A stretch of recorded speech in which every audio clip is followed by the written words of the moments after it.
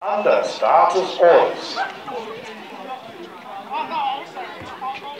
Away they go, good start. Who's going to be first? Wayne. Sam Rochester gets a punch on the inside. He's gone out wide, coming out of the turn. So GB's gone into number one and two. Three laps to go. Up in front there, seven points.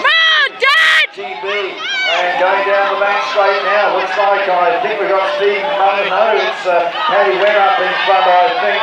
Steve Mullen just trying to protect his position there. He's under attack, heading down the back straight, and it's going to be one lap to go.